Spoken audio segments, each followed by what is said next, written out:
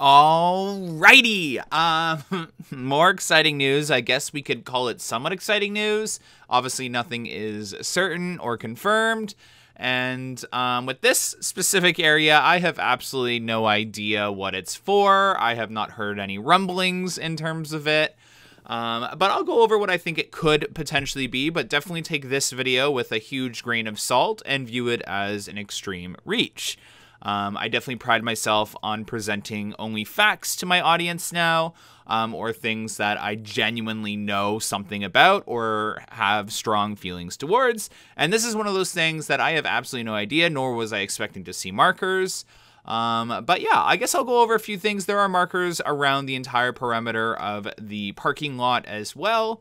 And um, this specific area seems to be in a specific shape that would suggest that they're going to cut it out and they're going to put pavement here. That would be my ultimate guess, um, which is extremely interesting considering for any of you who have been to Canada's Wonderland this season um, can vouch that front gate can no longer handle the crowds. Yes, there is social distancing.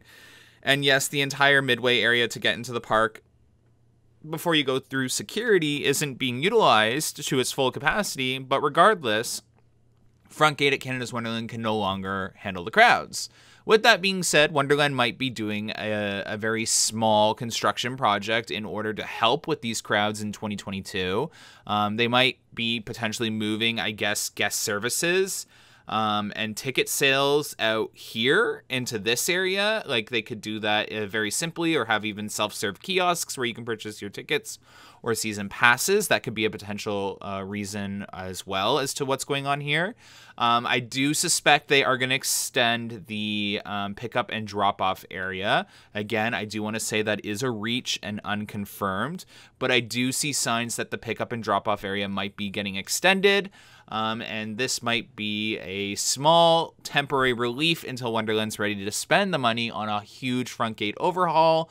Um, but I will say I am starting to think that Wonderland's front gate reno could be getting bumped up and happening sooner. I do know for sure that Wonderland has been waiting on a front gate reno for a while now, um, and that um, when they utilize the guest services area as second entrance into the park. That is temporary. When we have spoken to someone at Wonderland, that was confirmed, and that they are waiting on a front gate reno for Canada's Wonderland, and Cedar Fair is just waiting for the right moment uh, to do it. And I do think it's getting pushed up every year that Wonderland uh, opens. It's getting pushed up even more, and with all the houses being built around Wonderland, they definitely need to utilize um, better crowd management exactly why we see construction in Kingswood. I think that Wonderland is definitely rapidly developing the park to be able to handle crowds better. There's lots of condos being built, lots of people moving into the area, and Wonderland each year as they add more roller coasters and additions and upgraded theming and food